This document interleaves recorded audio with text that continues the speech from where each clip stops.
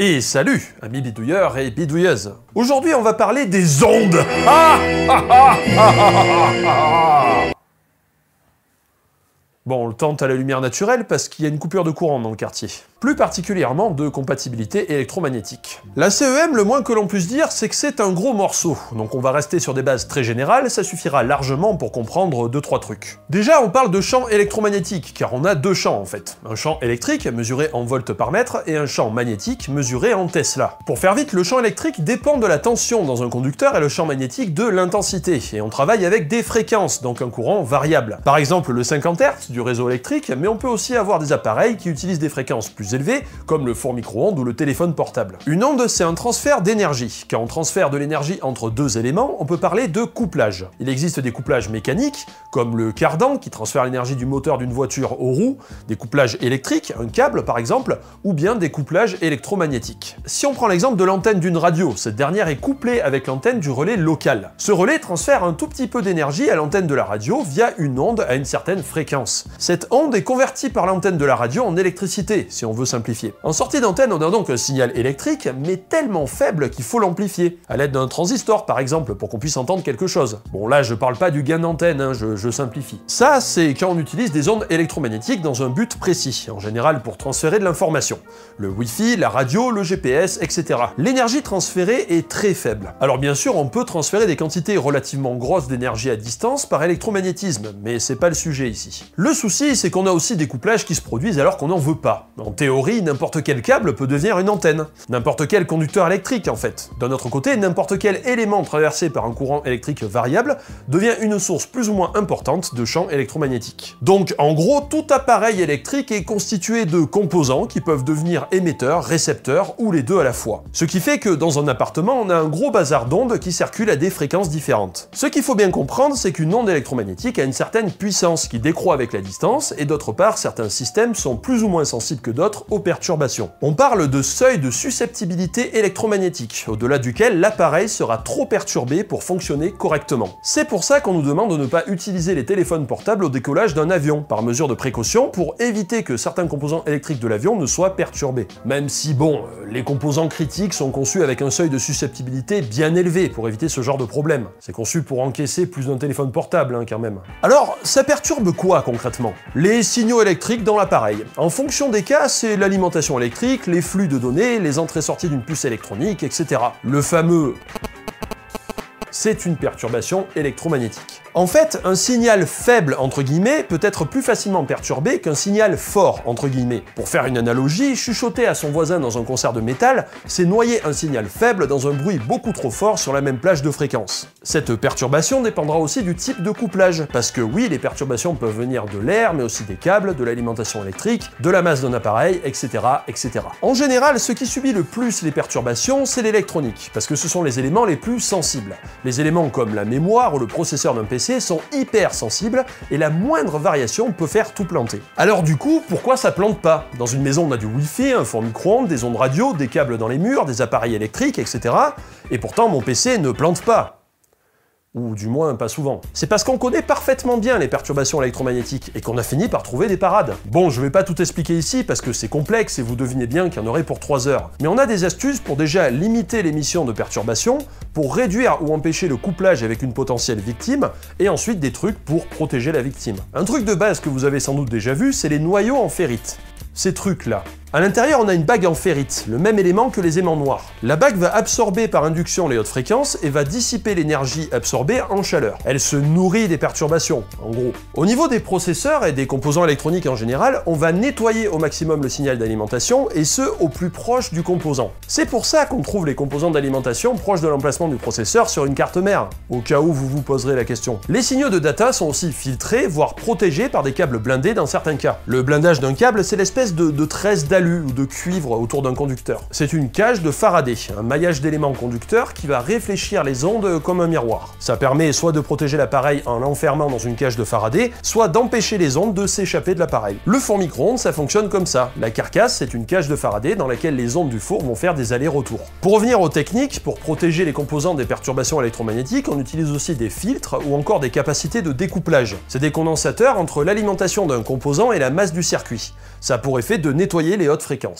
Enfin bref, à l'origine je devais vous parler de Wi-Fi bien-être, c'est ça? C'est parce qu'il n'y a pas grand-chose à dire en fait, hein. euh, Enfin, je viens d'écrire trois pages de script en plus, donc euh, oui, maintenant il y a des trucs à dire. Il y a quelques temps, on me parle sur Twitter d'une enseigne de boutique qui affiche fièrement Wi-Fi bien-être sur sa porte. Je remercie au passage Alexis pour le relais du tweet d'un certain Rinka. En y regardant de plus près, il est expliqué qu'un dispositif est installé dans la boutique. Ce truc, le CMO pour Compensating Magnetic Oscillator. Le CMO, fabriqué par CMO System France, qui apparemment n'existe plus depuis 2012, mais qui d'après le site CEM Vivant continue à être vendu sur différents sites et certaines boutiques, est un oscillateur destiné à émettre des fréquences de compensation. Le CMO absorberait une partie des ondes électromagnétiques dans un environnement pour créer, par effet de résonance, une onde extrêmement faible, censée, je cite, recaler dans leur fréquence originelle les ions du corps ou restaurer les cibles biologiques dans leurs activités naturelles. Ce qui est cool Enfin, je crois, parce qu'en fait, euh, j'ai rien compris. Alors vous allez me poser la question, pourquoi faut-il restaurer les cibles biologiques dans leurs activités naturelles? C'est parce qu'elles sont perturbées par les ondes. Le Wi-Fi, Linky, le CPL, tout ça.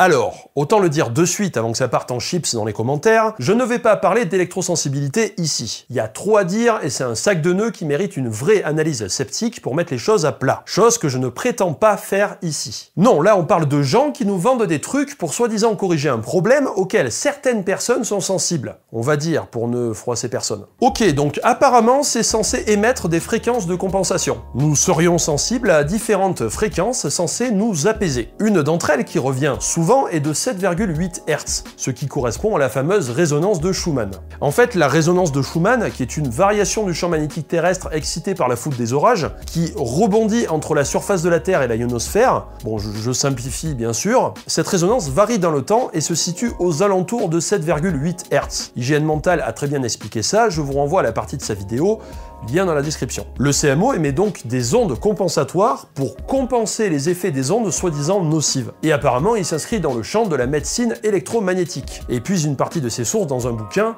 L'homme électromagnétique. Alors de ce que j'en sais, on utilise des ondes en médecine, hein, par exemple pour faire un scanner, mais vu que je ne suis pas calé dans le domaine, je laisse le soin à d'autres de traiter cette question de médecine électromagnétique. Nous, on n'a pas besoin de rentrer là-dedans. Ben, les différentes sources insistent lourdement sur des études qui prouveraient que le CMO fonctionne. Mais avant de s'exciter, on peut se poser la question de la crédibilité de son fonctionnement. Il est dit que le CMO émet un signal magnétique compensatoire de 150 femto-Tesla. Femto. 10 puissance moins 15. Un frigo à 1 mètre émet 0,01 micro-Tesla soit 100 000 fois plus environ. Le champ magnétique terrestre est d'environ 50 micro-Tesla, soit à la louche 300 millions de fois plus. Donc même si ce plot vendu entre 150 et 300 boules en fonction des sites fonctionne, son signal est noyé dans le bruit. C'est comme si vous tournez une vidéo d'ASMR au milieu du décollage simultané de 14 fusées Ariane. Et puis on parle du champ magnétique, alors que la question de l'électrosensibilité se pose aussi au niveau du champ électrique et on n'a pas de données là-dessus. D'ailleurs, pour revenir à Schumann, à quoi ça sert de reproduire une onde de 7,8 Hz alors que la résonance de Schumann est présente de partout sur Terre avec une moyenne de 1 picotesla, soit 10 fois plus que le CMO En fait, si on suit le raisonnement, on vit déjà dans une onde compensatoire. Je suppose que maintenant vous êtes, vous sentez mieux.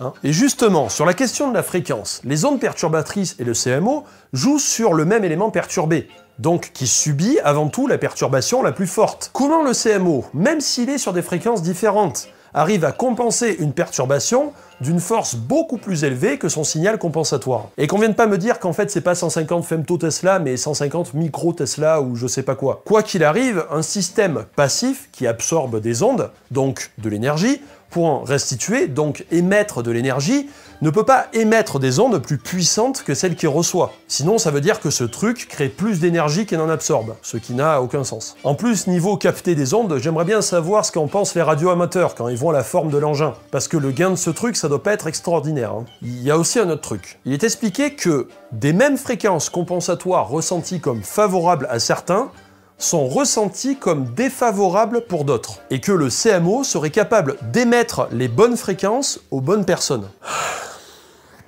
Bon, on résume.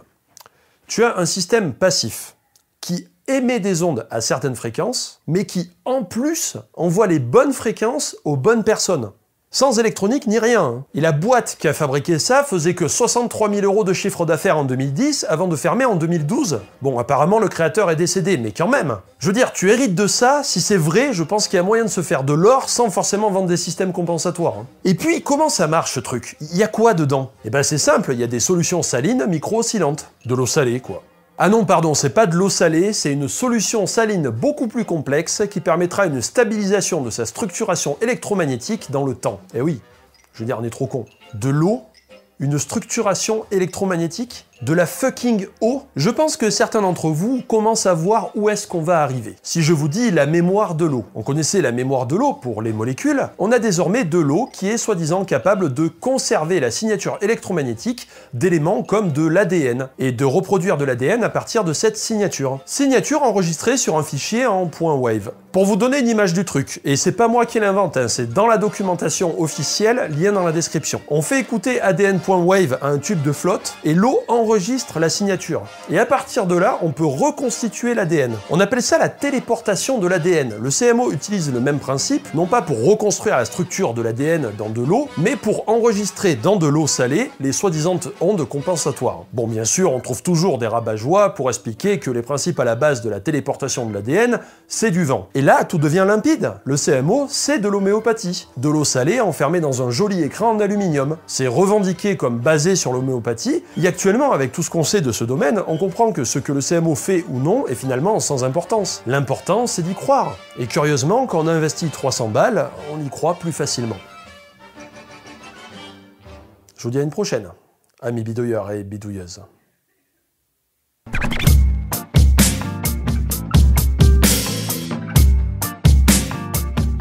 Ce bullshit ou pas est sans ambiguïté, au moins. Et puis bon, ça détend de traiter des sujets qui sont vraiment du bullshit avant de recommencer sur des sujets plus sérieux. Je tiens à le dire pour qu'on ne mette pas sur le même niveau le CMO et Ocean Cleanup, par exemple. Ce dernier est un projet autrement plus sérieux en comparaison. Comme ça, c'est dit. Allez, salut